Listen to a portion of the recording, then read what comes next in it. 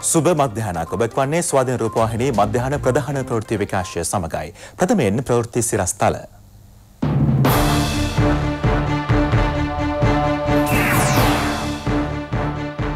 පළාත්පාලන ආයතනවලින් අයකරන වරිපනම් බදු වසර දෙකක් යනතුරු ඉහළ නොදැබීමට රජයෙන් තීරණයක්.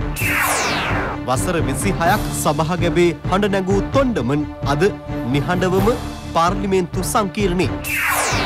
හත්සිය තිස් දෙකක් පූර්ණ සොය ලබද්දී කොරොනාරෝගීන් ගණන එක්දහස් හාරසිය හැට නවයක්.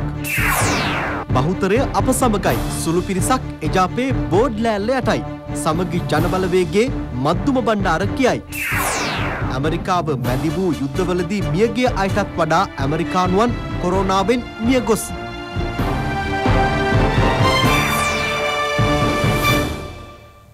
දේශීය ප්‍රවෘත්ති මෙරට තුළ හමු වූ කොරෝනා රෝගීන්ගේ සංඛ්‍යාව එක්දහස් හාරසිය හැට නවය දක්වා ඉහළ ගොස් තිබෙනවා. සම්පූර්ණ සුවය ලැබූ සංඛ්‍යාව හත්සිය තිස් දෙකක්. කොරෝන ආසාධනය වීමෙන් රෝහල්වල ප්‍රතිකාර ලබන ආසාධිතයින්ගේ සංඛ්‍යාව හත්සිය විසි හතක් බවයි සෞඛ්‍ය අමාත්‍යංශය සඳහන් කළේ. වෛද්‍ය අධීක්ෂණ යටතේ පුද්ගලයින් හැත්තෑ පස් දෙනෙකු රෝහල්වල පසුවනවා. මෙරටදී කොරෝනා මරණ දහයක් සිදු වුණා. ඇඳරි නීතිය ඉවත් කිරීම සමග කොරෝනා වෛරසය ව්‍යාප්ත වීම මැඩලීම සඳහා ගත යුතු ක්‍රියාමාර්ග සම්බන්ධයෙන් සෞඛ්‍ය අමාත්‍යාංශය නිකුත් කර ඇති මාර්ග උපදේශ පිළිබඳ සෞඛ්‍ය අධ්‍යක්ෂ ජෙනරාල් විශේෂඥ වෛද්‍ය අනිල් ජාසිංහ මහතා අදහස් පළ කළා. විද්‍යානුකූල පදනමක් අනුව තමයි මෙවැනි මාර්ගෝපදේශ සකස් කරලා තියෙන්නේ. මේවා දිගටම පවතින ස්ථාවරේවා නෙවෙයි. මේවා වෙනස් කරමින් යා හැකි මාර්ගෝපදේශ. නමුත් මේ අවස්ථාවේ එහි තියෙන ආකාරයට කටයුතු කිරීම ඉතා වැදගත්. ඊයේ දිනේ පිටකොටුවේ ගෆූර් කියන ගොඩනැගිල්ල නාවික හමුදාව විසින් භාවිතා කරන ගොඩනැගිල්ල මෙහි ඒ නාවික හමුදාවේ රියදුරන් ඇතුළු පිරිස් සිටිනවා මේ අය මෙම ගොඩනැගිල්ලේ එක නාවික රියදුරු මහත්මයෙක් හමු වෙලා තියෙනවා කොවිඩ් 19 ආසාදිතයෙක් හැටියට මේ ගොඩනැගිල්ල සම්පූර්ණයෙන් නිරෝධායනට ලක් කිරීමට ඊයේ දිනේ කටයුතු කළා තියෙනවා. කුවේට් රාජ්‍යයෙන් මේ අහස්යානා දෙකකින් පැමිණි 466 දෙනාගෙන් 306 දෙනෙක් ආසාදිතයින් බවට හඳුනාගෙන තියෙනවා. මෙරට කොරෝනා වසංගතය පාලනය කිරීම සඳහා අවශ්‍ය තොරතුරු පද්ධති ක්‍රියාත්මක කිරීම ඇතුළු වෙනත් කටයුතු සඳහා ලෝක සෞඛ්‍ය සංවිධානය සම්පත්දායකත්වය ලබා දෙන බවයි වසංගත රෝග විද්‍යාංශයේ අධ්‍යක්ෂ විශේෂඥ වෛද්‍ය සුදත් සමරවීර මහතා කියා සිටියේ. ශ්‍රී ලංකාවකයන් විදේශවල සිට නැවත ලංකාවට පැමිණීම සඳහා විශාල ඉල්ලුමක් තියෙනවා. මෙතනින් විශේෂයෙන්ම මැද පෙරදිග සමහර අවස්ථාවලදී ඒ රටේ තවදුරටත් රැඳී සිටීමට බැරි වීසා නැත්නම් කාලේ ඉක්මවා ගිය පිරිස් සිටිනවා. ඔවුන් අපි නැවත ගෙන්වා ගත යුතුයි. ඒක නිසා COVID-19 රෝගය පිළිබඳ ප්‍රශ්නයක් තිබුණත් ඔවුන් ආසාදිත නම් ඔවුන්ගෙන් අපේ සමාජයට මේ රෝගය ව්‍යාප්ත නොවන ආකාරයට ක්‍රමවේදයක් අනුගමනය කරමින් ඔවුන් ක්‍රමානු කුලෝ ගෙන්වා ගැනීමට කටයුතු ඉදිරියේදී සිදු වෙනවා ඇති. ඒ වගේම තමයි අනිත් රටවල විදේශවල සිටින අයත් ඒ විදිහට යම්කිසි විදියක පාලනයක් ඇතුව අපේ රටට නැවත පැමිණීම ඉදිරියේදී සිදු වෙනවා ඇති. ඉතින් මේ தත්ත්වය නිසා තමයි අපි ශ්‍රී ලාංකිකයෙකුන් ඉතාමත්ම වේව අවස්ථාවේදී ඉල්ලා හිටින්නේ ඔවුන්ගේ සහයෝගය ඉතාමත්ම අවශ්‍ය වෙනවා. මේ තරම් දුරට සාර්ථකව පාලනය කරපු COVID-19 අපේ රටේ නැවත වතාවක් සමාජයට එකතු වෙලා සමාජය තුළ පැතිරීම වළක්වීම සඳහා ඔවුන්ගේ කාර්යභාරය කරන්න කියලා. විදෙස් රටවල සිටින ශ්‍රී ලාංකිකයින් ප්‍රමුඛතා අනුපිළිවෙලට අනුව ගෙන්වා ගන්නා බව කැබිනට් තීරණ දැනුම් දීමේ මාධ්‍ය හමුවේදී සඳහන් කෙරුණා. සමාජගත නොවී. ඉතාම සාර්ථක ලෙස කොයිඩ් දානමය පැතිරීම වලක්වාගත්ත රටක් ලෙස. ලෝක සෞඛ්‍ය සංවිධානයෙන් පවා පැසසුන් ලබ තියෙන රටක් ලෙස. අපි ක්‍රමානුකූලව විදේශවල සිටි ශිෂ්‍යයන් සහ රජයේ සේවකයන් සහ ශ්‍රමිකයන් ගෙන්නවා ගැනීම ආරම්භ කරලා තිබුණා. මේ වන විට විදේශවල අධ්‍යාපනය ලැබීම සඳහා ගොස් සිටි ශිෂ්‍යයන් තුන් දහස්සකට වැඩි පිරිසක් ලංකාවට ගෙන්න්නගෙන තිබෙන. ගෙන්න්න ගැනීම පිළිබඳ අනුපිළිවෙලක් සකස් කරලා තිබෙනවා ප්‍රථමයෙන් පාසල් ශිෂ්‍යයන් දෙවනුව රජයේ සේවකයන් හමුදාව හෝ රාජ්‍යන්සේ ශිෂ්වත්ත යනාදියට ගොස් තිබෙන පාර්ශව තෙවනුව රෝගීව සිටින. බෙහෙත්තේත් අවශ්‍ය කරන එම නැත්තන් රෝගී තත්ත්වයට පත්වෙලා ඉන්න පාර්ශවයන් ඊට පසු ශ්‍රමිකයන් කියලා ප්‍රමුඛතා අනුපිළිවලකට තමයි මේ ගෙන්වා ගැනීම කරන්න. ලංකාවට පැමිණෙන් අදහස් කරන කෙනෙක් ඔබට හෝ මට හෝ අපිට හෝ ලිපිලිවීමෙන් කිසිම තේරුමක් නැහැ.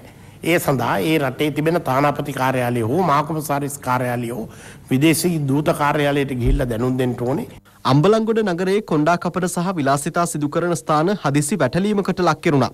ඒ මහජන සෞඛ්‍ය පරීක්ෂකවරුන් විසින් කොරෝනා පාලනය කිරීම සඳහා ලබා දී ඇති මාර්ගෝපදේශ නිසි පරිදි ක්‍රියාත්මක වන්නේද යන්න පිළිබඳ මෙහිදී සොයා බැලුණා. උපදෙස් කඩ කළ ආයතන කිහිපයකට මහජන පරීක්ෂකවරුන් දැඩි ලෙස අවවාද කළා.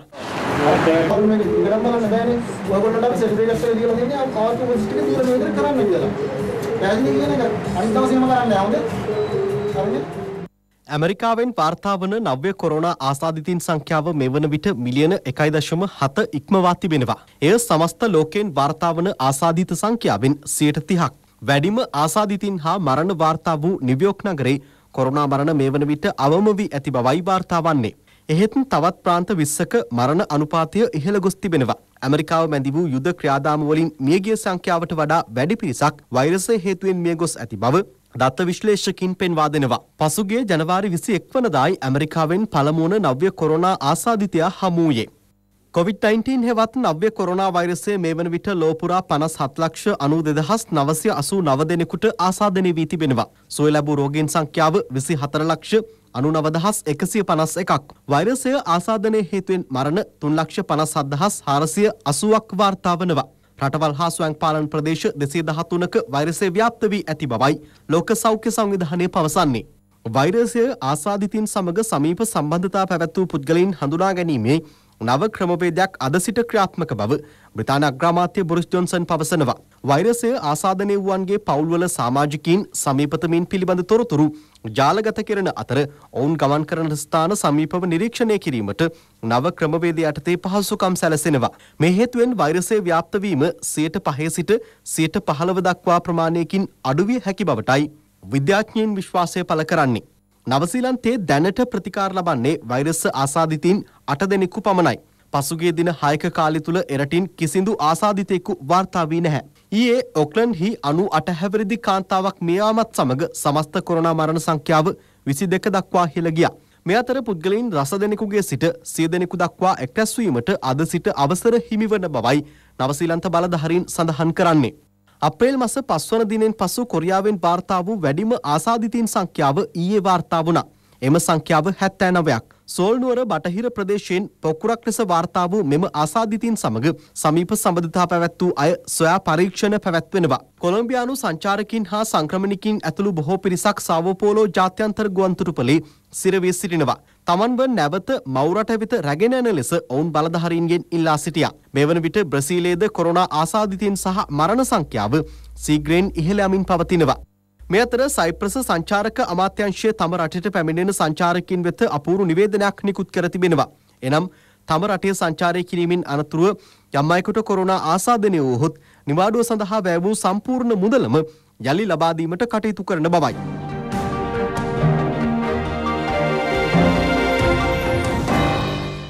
අභාප්‍රාප්ත අමාත්‍ය ආර්මුගන් තොන්ඩමන් මහතාගේ දේහය පාර්ලිමේන්තු සංකීර්ණය වෙත අද රැගෙන එනු ලැබුවා. පාර්ලිමේන්තුව වෙත පැමිණි ජනාධිපති ගෝඨාභය රාජපක්ෂ මැතිතුමා අරුමුගන් තොන්ඩමන් මහතාගේ දේහයට අවසන් ගෞරව දැක්වුවා.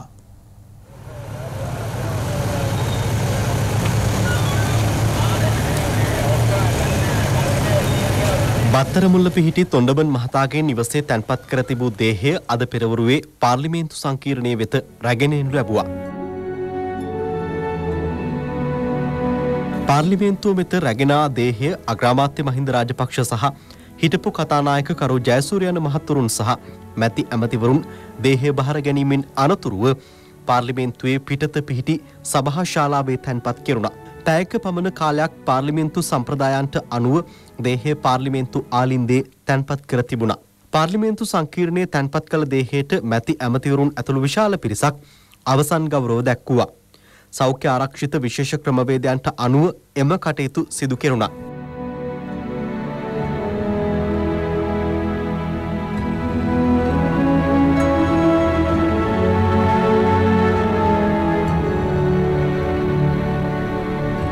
අනතුරුව දේහය ලංකා කම්කරු කොංග්‍රසයේ මූලස්ථානය වෙත අද දිනේ රැගෙන යාමට නියමිතයි. 1964 වසරේ මැයි මාස 29 වනදා උපන් ආරුමුගම් තොණ්ඩමන් මහතා ලංකා කම්කරු කොංග්‍රසයේ නායකත්වයේ දරමින් ක්‍රියාකාරී දේශපාලනයේ නිරත වූයේ වතු කම්කරු ජනතාවට දැවැන්ත සේවාවක් ලබා දෙමින්. ඔහු මෙරට ප්‍රකට දේශපාලඥයෙකු සෞම්‍ය මූර්ති තොණ්ඩමන් මහතාගේ මුණුපුරකු වෙනවා. ආරුමුගම් තොණ්ඩමන් මහතා 1994 වසරේ පැවති පාර්ලිමේන්තු මැතිවරණින් නුවරලිය දිස්ත්‍රික්කය නියෝජනය කරමින් පාර්ලිමේන්තුවට තේරිපත් වූ අතර ඒ මහතා මෙසේ ජීවිතින් සමුගන්නා අවස්ථාව වනතෙක්ම පාර්ලිමේන්තුව නියෝජනය කළා. ඒ මහතා මේ යන විට වත්මන් රජයේ ප්‍රජා සවිබල ගැන්වීම හා වතු යටිතල පහසුකම් සංවර්ධන අමාත්‍යවරයා ලෙසයි කටයුතු කරමින් සිටියේ. අභාවප්‍රාප්ත ආරුමුගන් තොණ්ඩබන් මහතාගේ දේහය පිළිබඳ අවසන් කටයුතු රාජ්‍ය ගෞරව සහිතව නොබුඩ් ක්‍රීඩාංගණයේදී ලබන 31 වනදා සිදු කිරීමට නියමිතයි.